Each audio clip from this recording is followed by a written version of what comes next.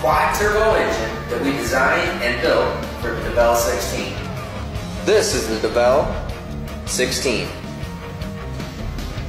This engine was built right here at Steve Morris Engines. This is a one-piece billet block, water jacketed for maximum cooling.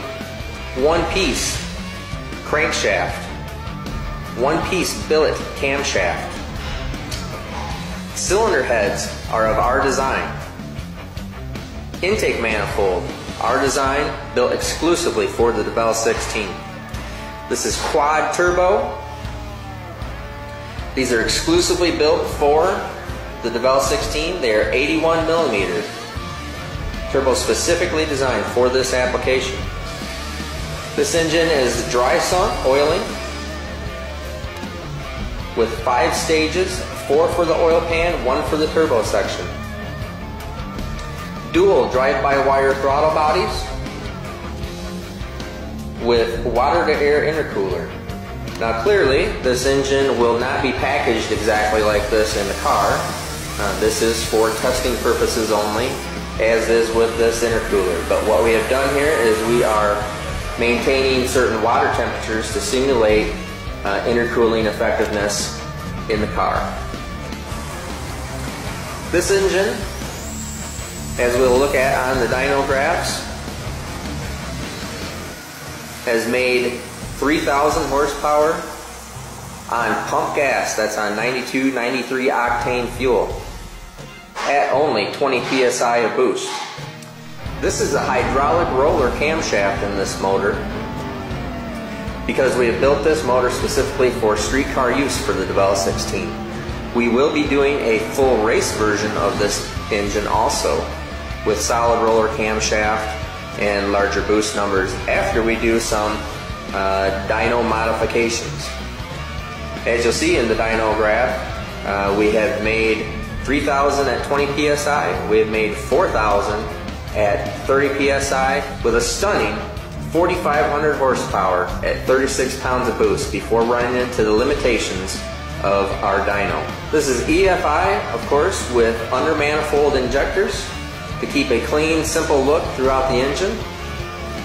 Our billet valve covers, along with that billet intake manifold designed specifically for boosted application.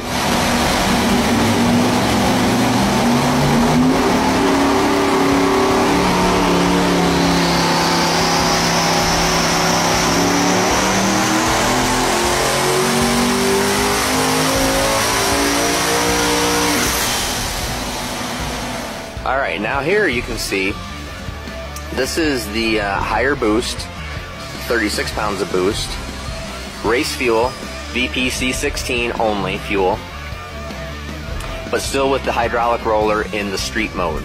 Now we don't recommend this. This is not where we're going to recommend this being for maximum horsepower in street mode. We want to see this at a lower RPM, or I'm sorry, at a lower uh, horsepower level, at the 4,000 horsepower level. 4,515 horsepower at 6,900 RPM. 3,519 foot-pounds of torque, all at 36 psi of boost. Now in this graph, you can see our pump gas tune, and this is a legitimate 92, 93 octane hydraulic roller, every everyday street-driven mode.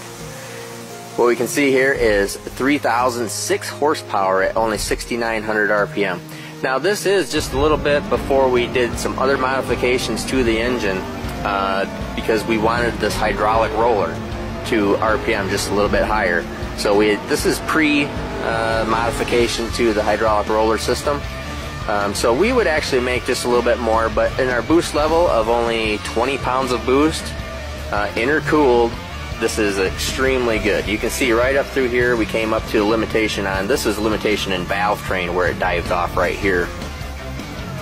Um, and you can see uh, that uh, we have made more RPM after we did our modifications. But this is a legit, very good 3,000 horsepower on 93 octane fuel. To learn more about our capabilities, please visit us at SteveMorrisEngines.com. I'm Steve Morris. Have a great day.